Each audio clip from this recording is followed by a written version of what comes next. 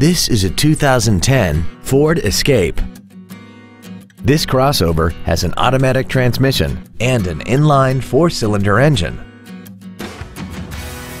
Its top features include a multi-link rear suspension, traction control and stability control systems, aluminum wheels, and a tire pressure monitoring system. The following features are also included air conditioning, a folding second row, cruise control, a CD player, a four-wheel independent suspension, a security system, a chrome grille, an anti-lock braking system, full power accessories, and this vehicle has less than 66,000 miles. We hope you found this video informative.